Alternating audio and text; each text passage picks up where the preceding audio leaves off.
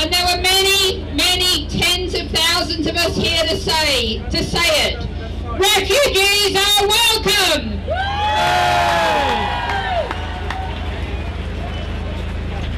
Now today is a big day. There's all of you on the streets saying refugees welcome and as a result of a Labour leadership election, politics is changing.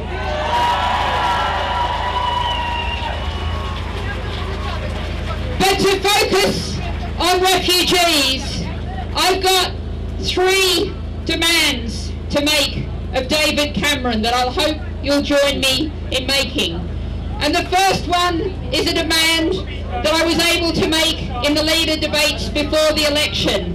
David Cameron, take part in the UN programme for the most vulnerable refugees from Syria. The UN has asked you.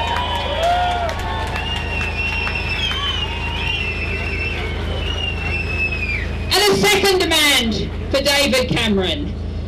Join the rest of Europe in a cooperative program to rehouse every refugee in Europe, taking, welcoming our fair share of the refugees in Europe.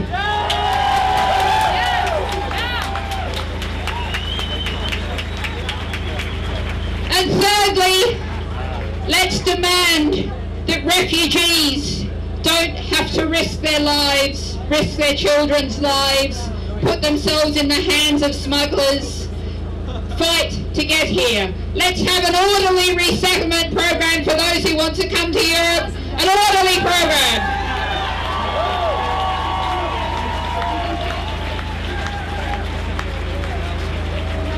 But of course today, as we're thinking about welcoming the people who are refugees, we also want to think about the fact that we don't want to make more people refugees.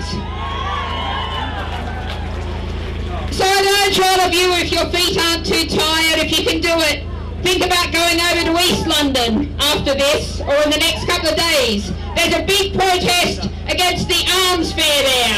And let's say, no arms dealers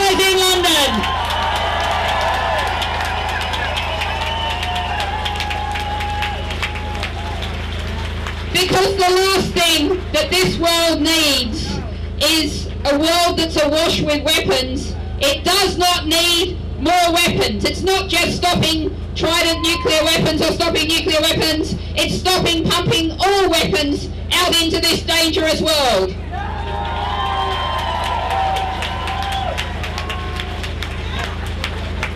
And as many people have said before me, we know that military adventurism has failed. Afghanistan, Iraq, Libya, the story goes on and on, the failures go on and on.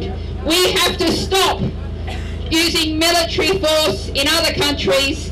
What we need to do is not disengage, but use every diplomatic sinew, every bit of energy, and uh, work with countries in the region to create a lasting peace.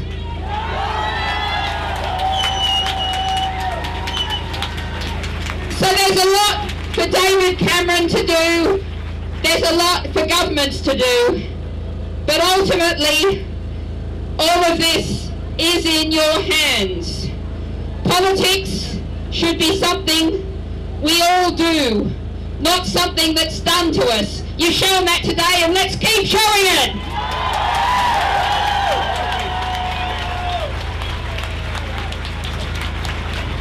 Thank you very much. It is with great excitement to